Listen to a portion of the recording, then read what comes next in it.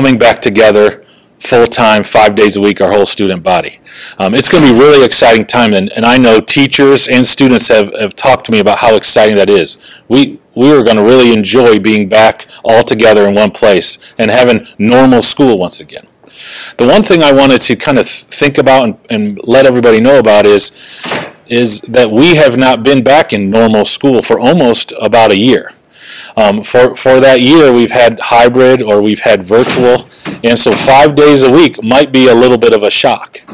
So what we want to keep in mind is um, having some grace with, with everybody involved um, and making sure that we think of others um, and knowing that everybody, it's going to take some time to get used to coming back five days a week. Um, but it's going to be really good for our education. It's going to be really good for, I think, for our souls um, to be back all together in one house as Shawnee Braves.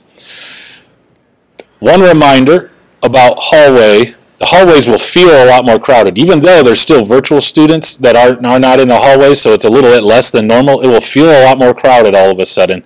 And so we need to make sure that we abide by our normal hallway expectations, but also our COVID protocols expectations. We need to remain masked.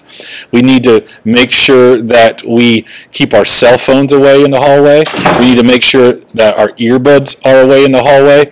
We have a tendency that I've, I've seen over the last couple weeks that we have maybe the cell phones out a little bit too much.